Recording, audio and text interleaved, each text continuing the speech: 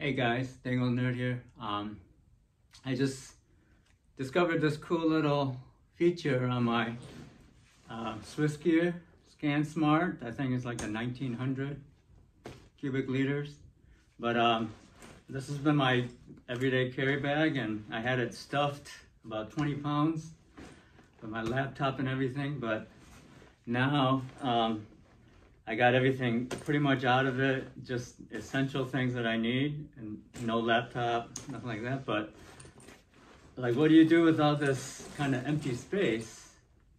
And I just, it just hit me like we have these little, I don't know, these little loops, and I never used them. I could never understand what the purpose of this was.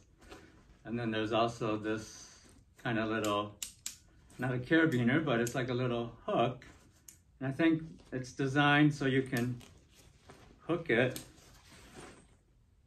to kind of act as a retaining, retaining, I don't know, strap. So now, and then I think you can adjust depending on how, how much space you have. You can pull it even tighter.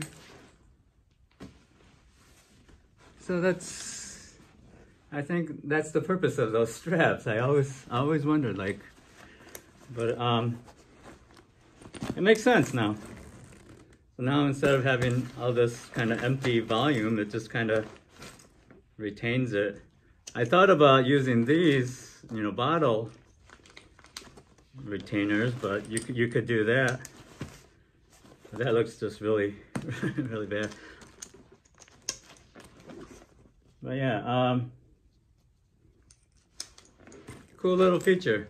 Never really understood, but I think this is probably why it's there. What do you think? Uh, leave comments below and I'll see you next time.